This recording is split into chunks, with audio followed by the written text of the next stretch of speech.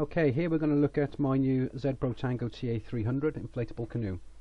I was looking for an inflatable uh, to do some uh, canals and rivers by myself mainly, uh, combined with stealth camping, but also with my two young daughters just for a leisurely afternoon out.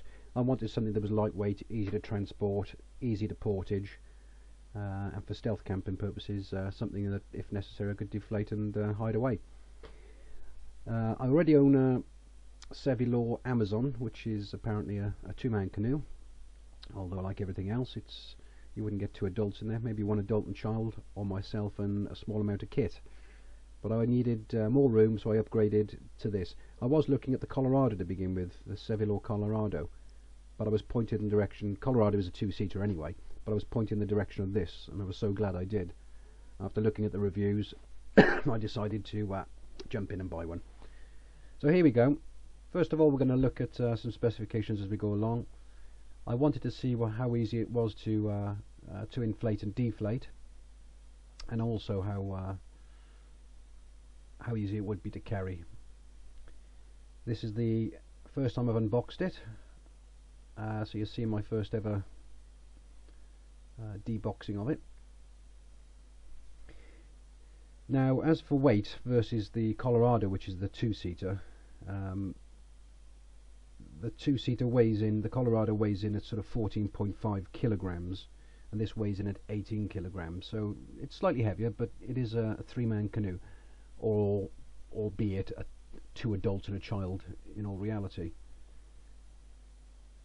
Maximum payload for the Colorado is 440 pounds, that's 199 kilograms, uh, whereas this one is 250 kilograms, so it'll actually take more weight.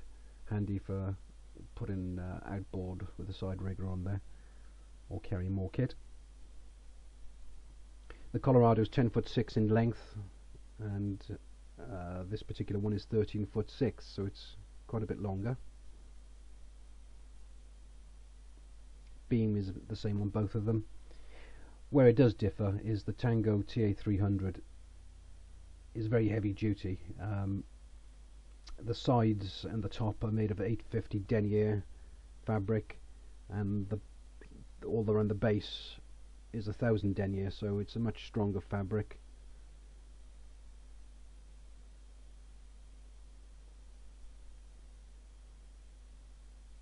Just a question of rolling it out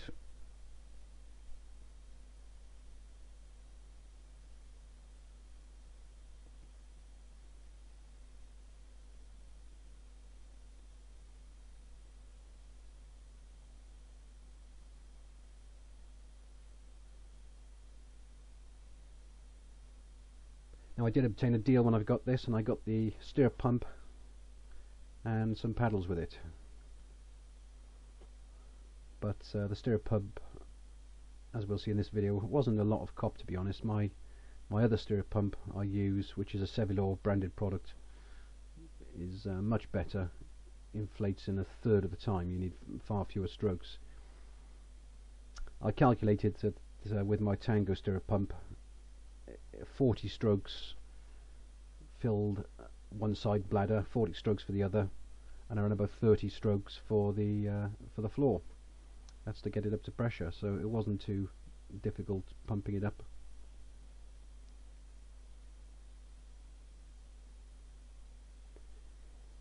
As you'll see in the video, the Sevylor comes with Boston floor valves, so they're very good quality valves. You've got a removable directional skeg uh, you've got a spray skirt front and rear. The three seats are very good quality. They've got very good lumbar support, which my Sevylor Amazon doesn't have. They're inflatable seats and they're very, you end up lying back in your canoe and they're not very comfortable to sit in. This also comes with a pressure gauge, so once you have inflated, you can uh, you can really get your your pressure spot on. The carrying bag you've seen comes with a repair kit.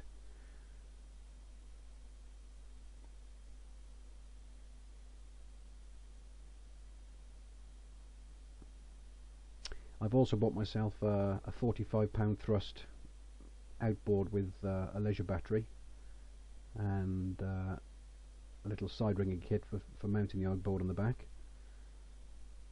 Now that with a leisure battery, with my kit and with uh, two daughters on board are still safely within the the maximum capacity, which is 250 kilograms. So as far as weight's concerned, this is uh, this can handle everything I throw at it. Now I've had the outboard on yesterday, uh, whilst it was perched on top of my uh, trailer. And what I will do is I'll extend uh, my power cable from the outboard to the battery so I can put the battery up front to offset the weight at the back of it. Obviously it may be a different uh, different scenario when I put it in the water.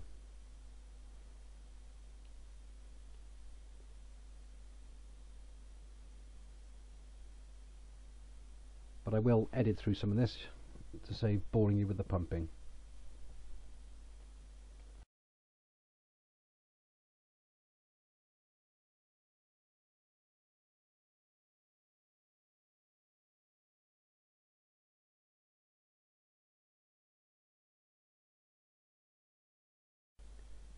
So there we go, inflation's complete.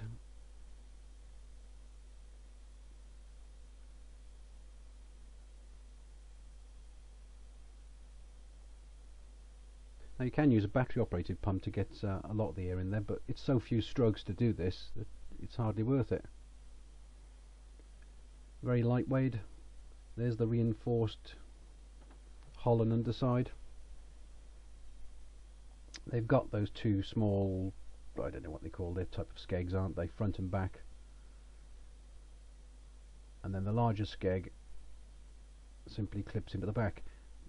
However, after reading the instructions.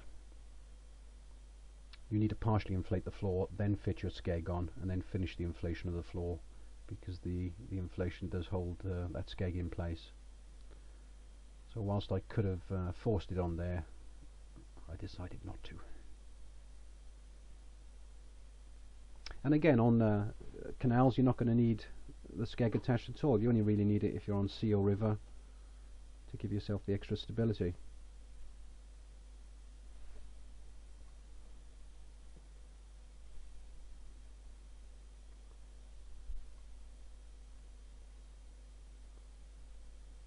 Plenty of width in that.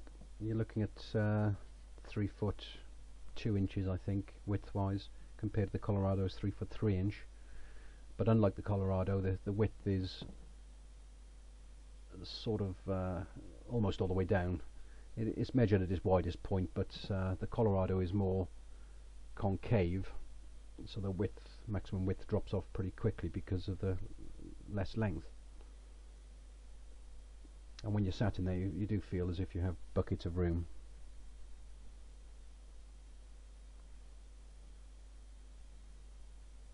The seats themselves were very good quality certainly compared to my Sevylor Amazon which is uh, not in the same ballpark as uh, as this product I know but uh,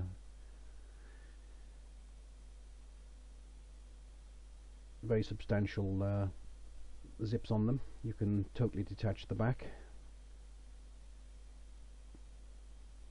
and they were very solid once I figured out how to put them. I mean they're pretty easy to, to, to clip in but uh, and adjust obviously you can have uh, one two or three seats put in so there we go with just the seat in the rear position I hadn't managed to adjust it properly at that point but that's how I envisage to use it most of the time so there's plenty of room for kit up front. And you can uh, you can hide things under the spray deck front and rear so no lack of room in this.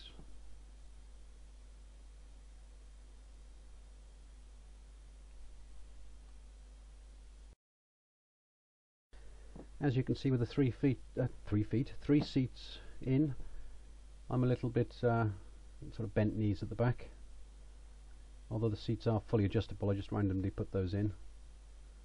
So for my little ones my little daughter for example I'd probably okay, so here's a closer look. quite a bit forward. As you can see the valves on here I forget what they're called but they're good quality valves. You've got a cover for the rear valve.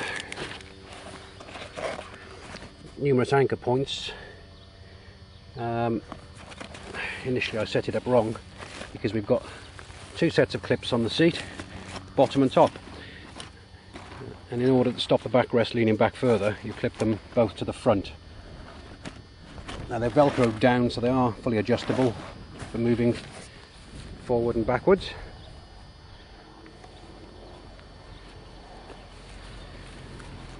This has 800 denier fabric to the top and sides and a 1000 denier to the bottom so it's one of the more robust inflatables out there. I was looking at the Sevylor um, Colorado initially. Um, I very nearly committed to it until somebody pointed me in the direction of the Tango. And it is a stronger, more robust canoe from what I can see. Hardly any difference in weight.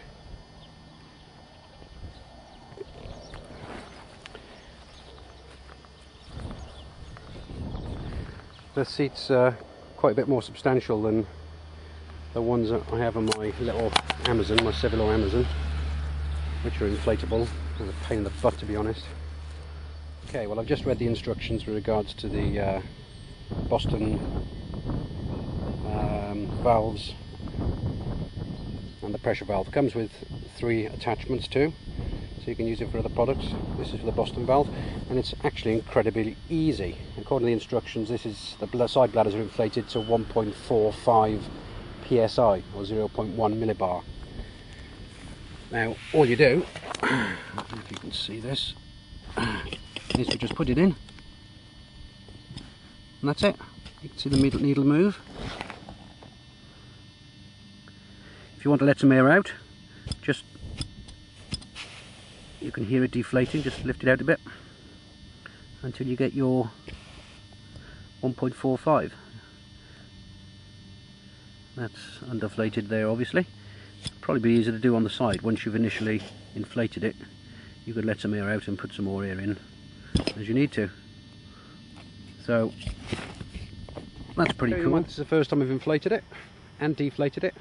I'm to time how long it takes to put it away.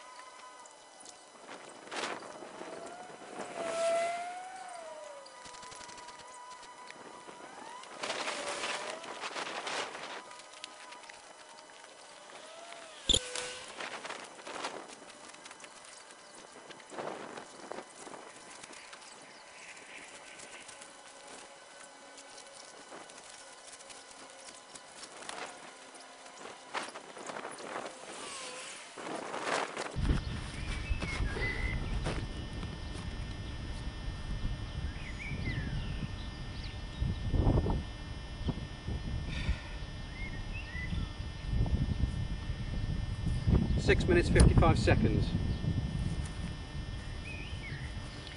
The only criticism I would have is uh, the bag itself. It would be great if the zips were on either end so you could work it in. But uh, it wasn't too bad for a first go. Flatten it. I did try and uh, deflate the air out of it but it just didn't seem necessary. It wasn't getting any air out. Just by taking the, the valves out just almost all the air came out of it so I'm very impressed with that. I'll probably do a better job packing it away next time but hell sorry for a first go. So there you go. You're looking seven minutes to pack away. Yeah. I'm happy with that. Next video is on the water